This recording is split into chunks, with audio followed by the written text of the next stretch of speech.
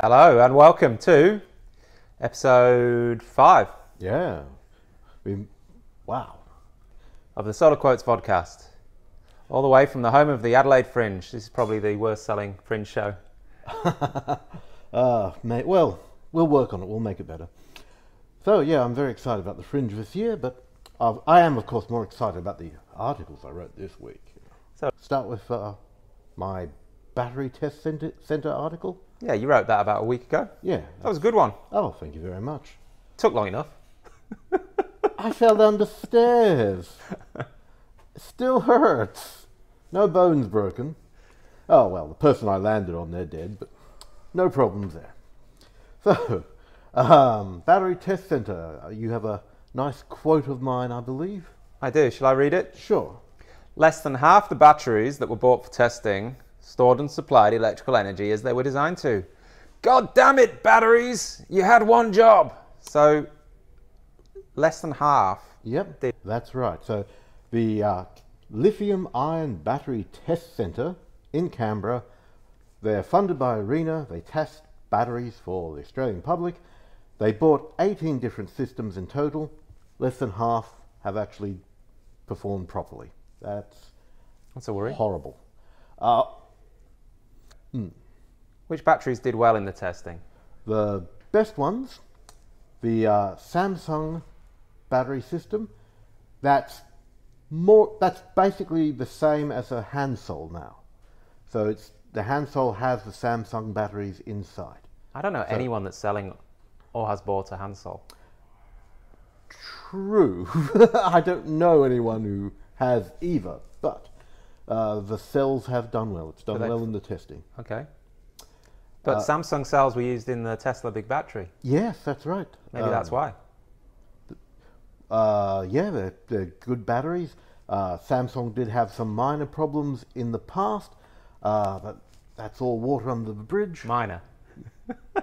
Well, it was a burning issue for a while, I have to admit. But the factory burned down. yes, and it, the problem solved itself. They were producing faulty batteries. The battery burns. Well, they had a fire. I don't know if it burnt down, but yeah, Okay, so it was probably a good choice of battery cell for the Tesla big battery. yes, definitely. I think um, I have uh, full of confidence for battery for Samsung's battery cells. Which other batteries did well? Um, the Sony battery system did very well, basically the same as the uh, Samsung, almost neck and neck. Um, the other battery system which did very well was the uh, BYD B Box, You declared that the winner. but the B Box has done very well. Um, I, So you got Samsung, household name, did well. Uh, Sony, household name, did well. BYD, it's hardly a household name, is it? no, but Who are, who are these um, people? They're a massive battery manufacturer in China. Uh, they produce, they pr- good chance they've got batteries in products you own, whether they're laptops or uh, mobile phones, and they produce a vast number of electric cars and electric buses in China. So they've probably got more experience making batteries than anyone else on the planet. Um, oh, yeah, of for lithium batteries, yeah, Yeah. quite And, possibly. and they did the best. They're one of the biggest Right. manufacturers. Yeah, interesting. Okay. Let's talk about some batteries. Um, so the Z cell, which is made by Redflow, which is, uh, as you can see from the picture up there, is a mechanical device. So that's, this is a wacky battery. It, it's got a big tank of, uh, what's the liquid again? Uh, bro- zinc bromide. Zinc bromide. And to, ch- when you charge the battery, it plates some electrodes in zinc, and then when you discharge the battery, it strips the zinc off the electrode. So it's got it's got a pump in there. Um, now they didn't test this battery. Why not? Uh, it's had a few problems. Go on. And by few, I mean three, and they've had to replace it three times. Yeah, twice because of leakages of the electrolyte Right. Yeah. from uh, lithium batteries. A cautionary trail. T- a cautionary trail. A cautionary tale for the uh, consumer about early adopting this new technology. Yes, Would you say? early adoption of any batteries. yeah. you got to be watch out. Be careful. Um, Unless you unless you like taking a risk. yeah, yeah, that's. Some people see new technology, they're very excited and they want to buy it, As long as you're not selling your children's bread money to do that, that's fine. Yeah. Yeah. So the Canberra Battery Test Centre is now on its third Z cell or Z cell. Yes. Mm, interesting. What about the? Now this is the LG Chem Resu version one. Okay. Uh, performance wise, it looks like the battery cell de- degradation wise, it looks like they'll probably go the distance. Can't be certain this point. Define go the distance. Stay within their awful warranty. Why is it an awful warranty? they they make the battery cells and they say we'll warrant them for this long. That's how much confidence we have in them. Yep. Fair enough. Okay, that's fine. But the, it's horrible because in the written warranty it says, oh, if it fails at this point, we'll give you two percent of what you paid for the battery. Thanks, LG. Yeah. Fortunately, they can't get away with that under Australian consumer law. Wouldn't have They thought so. Mm, they should at least pro rata it. So if Mm. there's one year left of the battery, you get 10%, not 2%. And the moral of the story: if you're buying a battery, read the warranty small print. Yeah. Because even if under Australian consumer law it's a bit naughty, do you really want to fight them through the justice system? yes.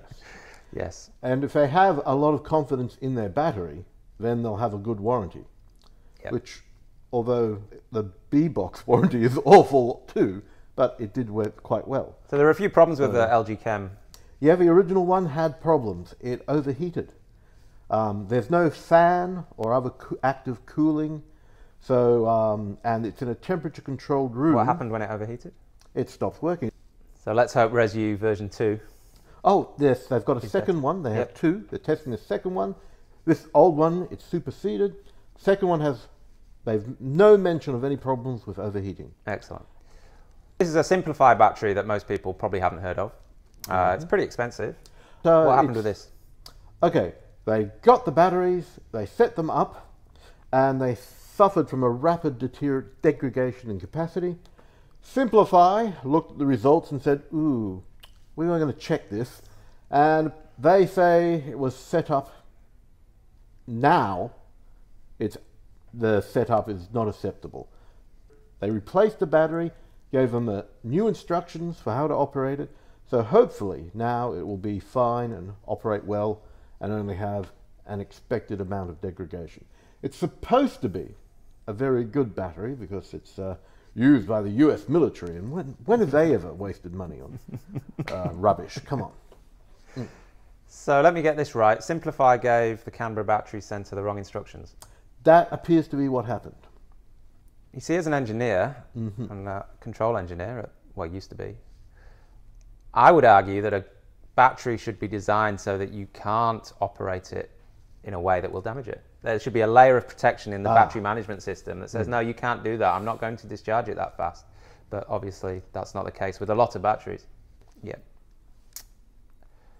Now, this thing, this is called a Ampetus Superlithium, That's right. and the company is not around anymore. No, the Queensland company was selling them at the time. Was basically the it was definitely the cheapest lithium-ion battery pack I was aware of in Australia. Yeah. So the uh, battery test centre had one.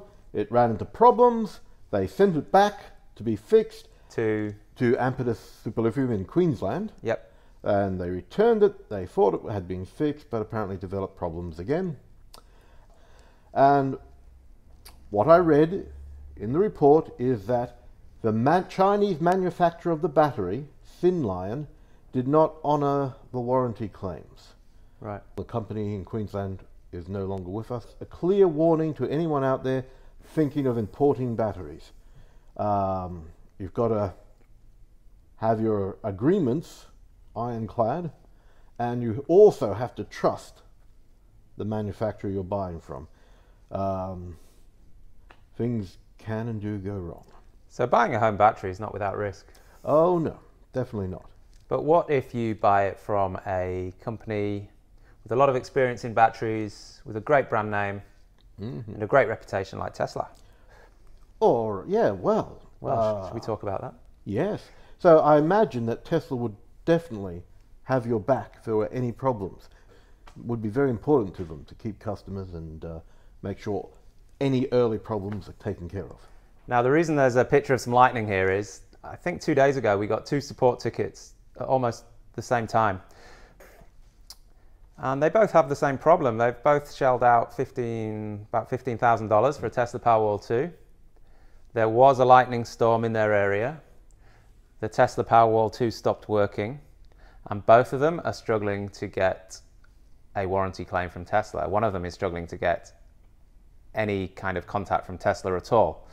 And this is this is really worrying. I'm going to do a blog post next week, hopefully, that goes through the details of at least one of these cases in detail because I don't I don't think it's good enough. So um, this this one chap he has got a Tesla Powerwall 2. Um, he's got a nice big solar system. He was very very happy with it because it's a great battery, and it stopped working uh, after a lightning storm. But everything else in his house is working fine, including mm. the $50 Chinese router that the Tesla's connected to. Everything else is absolutely fine. And Tesla are refusing to repair it under warranty. They're saying they'll repair it, but he has to pay it. They're suggesting he claims it on his home insurance. And in my opinion, and I'm going to look into more details, but on the surface, I don't think they've proved beyond any reasonable doubt that the lightning caused this. Um, what you, I mean, even if it's related to the lightning storm, the fact that the the Tesla and the gateway have failed, and the rest of his house, every other electrical component in his house is fine. What does that tell you? Ele- electronic equipment has to be able to survive things such as lightning storms in Australia because Australia has lightning. We're not that spot off Ecuador where lightning never strikes. He didn't have a direct hit. Mm, no, no, it wasn't like God, finger of God destroying his Tesla system. It was something in the area, and apparently the Tesla is the only thing affected. If that's the case, the Tesla has inadequate lightning protection, inadequate surge protection. If it's a $15,000 system, they need to improve that. I mean, these two guys have got bricks now. I mean, because the other interesting thing about Tesla is uh, Giles over at Renew Economy mm-hmm wrote a post about how he'd been invited to spend a number of days at I think it was a three or four million dollar eco mansion mm. in Byron Bay, provided oh, by Tesla. Okay. Powered by I think three Tesla Powerwalls uh-huh. and solar mm-hmm. with a uh, brand new Model X. Yeah, it sounds terrible. Sounds terrible. Yeah. And funnily enough, Giles wrote a glorious review of the of the Tesla technology, um, mm-hmm. and that you know that's so they're spending millions of dollars on mm.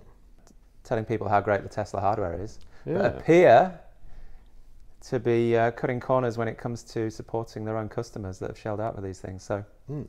anyway, well, I'll do a detailed blog post with just the facts, mm. and people can decide for themselves. Yep. Um, but very, very disappointing, and goes to show that even buying a battery direct from Tesla mm. doesn't mean you're not going to have problems. Um, yep. the other thing about Tesla is so they tested the Powerwall One yes. battery Canberra Battery Test Centre. Mm-hmm. They haven't tested the Powerwall 2 yet, so they haven't published the results because mm-hmm. they were having some issues. issues controlling it. Tell us about the Tesla Powerwall 1 results. The Tesla Powerwall 1, yeah, the Tesla Powerwall 1 results are bad. Right, with some caveats. With yes, lots of caveats. Do you want to talk us through the graph? Yeah. Okay. So we have a graph. We've got uh, four systems. The worst performing one in terms of declining capacity. Well, it's the worst performing battery on that graph, which is interesting. Yeah, well, yes. Anyone out there with a Powerwall 1? Let us know how you're going. If you can measure the capacity fade, that would be really interesting. I know with the Powerwall 2, it doesn't give you any numbers for capacity, so you can't actually track it with the app, which is interesting. Um, you'd need to put extra instrumentation on there. But yeah, I mean, on this graph, it's the worst performing battery, which is interesting. Worst review and best review of the week. Ooh, all right. What have you got for uh, us? Solar Quotes has about 40,000 reviews of mm. solar installers, uh, solar panels, and solar inverters and soon batteries on its site. Um, we get about 200 and new reviews a week. So we thought we'd go through the worst review of the week and the best, one of the best reviews of the week. So mm-hmm. th- this one is this one is really depressing. Sorry, it's horrible. Yeah, it's not it's not a Solar Quotes client. Um, to be totally transparent, this company was a Solar Quotes client many, many years ago, and I've uh, basically uh, kicked them out because we fell out over the a brand of panel they were selling. I think it was a Munsterland. Munsterland, made in China. Was it made Not, in? Wasn't made in Munster. Oh wow! But with that name, you think it would be, wouldn't you? Um, And so the company door knocked my mother, who is 83 years old, lives alone, and is a full pensioner with early dementia. Also, despite the fact that she has a do not knock sticker clearly displayed on her front door, she already had working solar panels installed on her home, proceeded to sign her up for another set of solar panels and put her on a payment plan. Payment plans are a tool in trade for these guys that seem to prey on, on vulnerable people, especially door knockers. Um, deducted from her pension, knowing that she lived alone and her usage did not warrant for the panels being installed. Well, I don't know what her usage was, but that's irrelevant. The fact that she's an old lady that appears to have been put on a payment plan out of her pension is just it's just horrible. My attempts to have any sort of resolution deal with this company have gone unanswered. I have phoned the state manager on at least four different occasions, and he has always promised to look into it and get back to me. There has not been any reply to my queries, only demands for the payments from the credit provider. Mm. The credit provider is Certegy. We see a lot of problems with Certegy. Mm-hmm. We have contacted Certegy. Certegy are literally a few doors down the road. We have told them about this. Um, John, I swapped emails with them and they're getting back to us. But we won't rest until this is resolved. Again, this is not a Solar Quotes client, um, but when we hear about stuff like this, we we do what we can to try and help them resolve it. Um, in my opinion, Certegy should jump in and give this lady her money back. Definitely. Um, if they don't, well, then the courts can deal with it. Yeah. Cert- come on, Certegy, you're better than this. I yeah. mean, really. So that's depressing. Hope, let's, depressing. Hope, let's hope it gets resolved. Um, and then a, a, really, really good review. Um, I need chewing up. these are, mm. these are from uh, an SA company up in Gepps Cross called DQ Electrical. Um, disclosure, Solar Quotes client. I'm, it's a long review, but I just pulled out this paragraph. I'm absolutely serious when I say this is the best experience from start to finish I've had with any trades work done at my property over the years. Thank you so much for everything will recommend you to anyone needing solar or electrical. So this is about yeah, a company called DQ Electrical, um, a s- smallish solar installer based in SA. Just just there are good solar companies out mm-hmm. there. That's one of our, one of the best reviews we got this week. Mm, sounds excellent. Yeah, nice DQ. one, DQ. Yep. Mm-hmm. Okay, back to the blog. Right. CEC changes to approved solar retailer program. What was this about?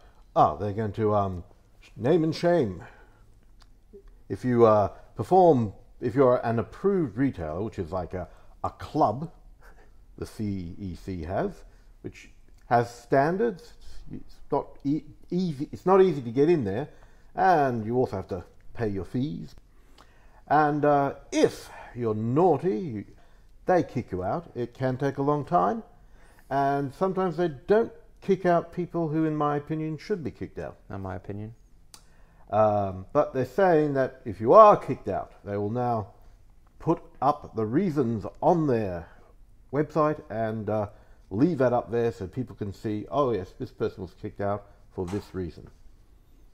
So that's a, a transparency thing. Well, that's a good thing. Yeah, as long as they're kicked out, you know, for a good reason, and they are kicked out if they're screwing up. I mean, there was a company a few months ago that went that used to be really good and then got really bad and I mm. put in a couple of complaints. They never got kicked out, um, which was disappointing. I mean, they were doing some really bad customer service stuff, you know, installing systems that weren't working, not getting back to the people, leaving people in the limbo. The company has since shut down in Australia, so the, I was going to say the problem's gone away, but it hasn't gone away because mm. we're still getting um, we're still getting uh, cries for help from people who have used this mm-hmm. company and their systems still aren't working, and this company is now shut down. Um, so that's that's a problem. They're no longer an approved retailer because they're not actually selling anymore, but they were right up until the point they shut down. I think as a voluntary scheme, it was great.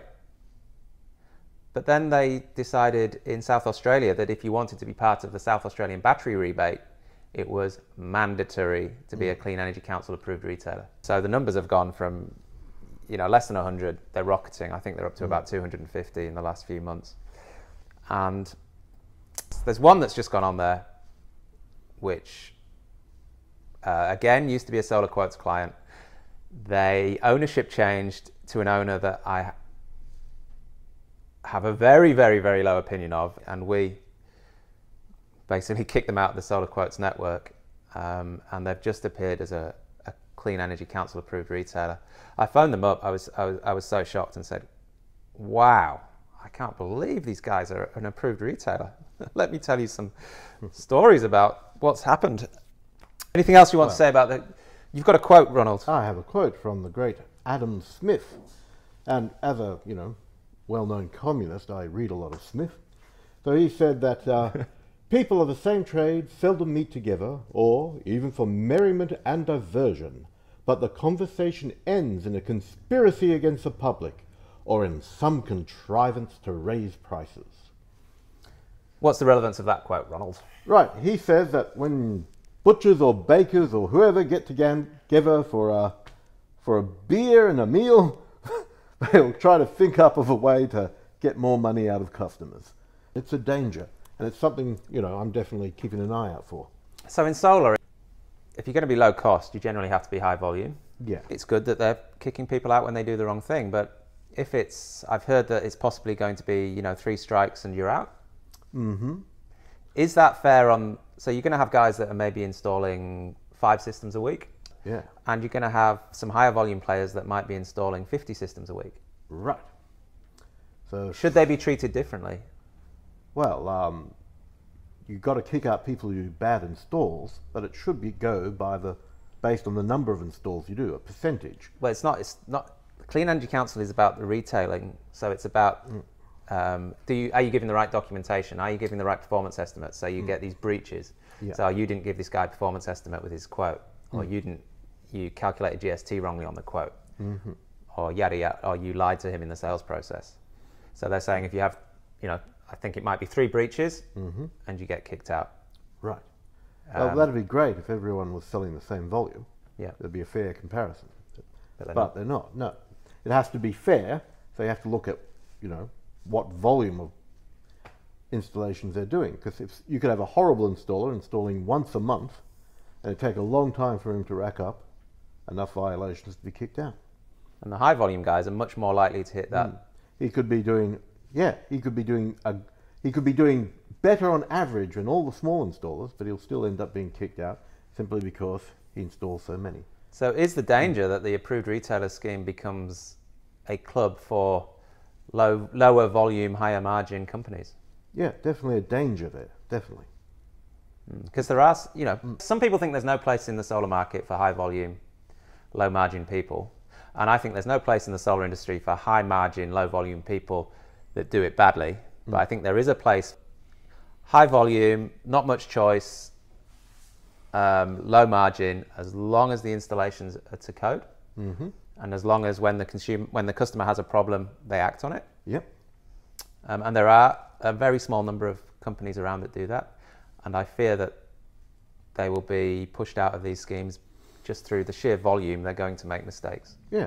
uh, in the sales process. It's the nature of business. Last vodcast, we complained bitterly at how there was no competition in Tasmania for electricity retailing. You had one choice. Well, I, I didn't tariff. complain bitterly about that. I complained that the feed-in tariff was too low. So as soon as that went out, Ah, yep. This There's happened. now competition. Well, it's called competition. It's not competition. Words have meaning. It's important. So basically, you can either stay with o- Aurora Aurora. and get pay one set of prices, or you can join this new retailer in Tasmania and pay exactly the same set of prices, but you'll get five cent more solar feed-in tariff. So if you have solar in Tasmania, I see no reason why you wouldn't change. Yeah, why wouldn't you? Yeah, I don't understand why there is a new retailer. Why not just give raise the solar feed-in tariff in Tasmania by five cents? Uh, do they enjoy making people jump through hoops to get the extra five cents? I don't know what's going on. I wonder if there's any. eh. I wonder if there's any small print, any Yeah, any gotchas. definitely. It's on the surface. It seems if you can get the same usage rate and five cent higher feed-in tariff, mm-hmm. just switch to these guys. What they called First Energy. Oh, I can't remember now. They're called First Energy, which hmm. is ironic because they're the second. yes, very good. Now, this is your latest, published yesterday. Oh yes, yep. You got over a thousand shares, Ronald. Thousand bagger. Oh yeah, yeah. Wow. I once once you put a handsome guy like that in front, people just want to find out what's going on in this article. They say, "Oh, what? Who's that distinguished-looking chap?" I'm going to read this article. It's a great post, mm-hmm. but usually when you put the words Craig and Kelly into a headline, you get a thousand shares. Craig Kelly. He never saw a lump of coal he didn't want a tongue kiss. So, he says the battery, the big Tesla battery, Hope there's no lightning storms.